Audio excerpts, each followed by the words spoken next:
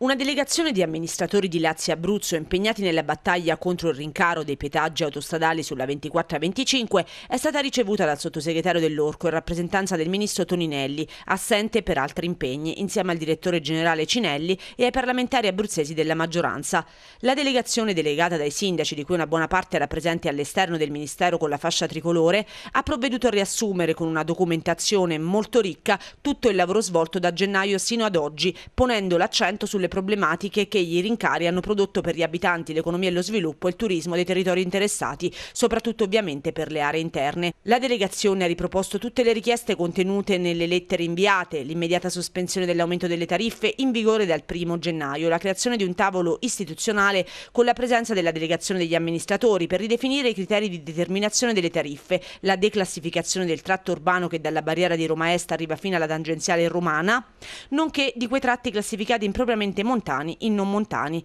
Il dottor Cinelli, dopo aver confermato l'arrivo di centinaia di richieste di accesso agli atti, ha manifestato la piena disponibilità alla pubblicazione di tutti gli atti richiesti, appena ricevuto il parere del Dipartimento della Funzione Pubblica della Presidenza del Consiglio dei Ministri. Il sottosegretario ha manifestato anche un impegno politico per aiutare la parte tecnica all'approvazione in tempi rapidi del documento economico e finanziario, il DEF, che risolverà strutturalmente anche la questione delle tariffe e dell'aumento delle stesse. La delegazione ha chiesto un intervento immediato che dia respiro ai territori. Il sottosegretario ha manifestato la disponibilità a valutare insieme al Ministero una soluzione verso questa direzione.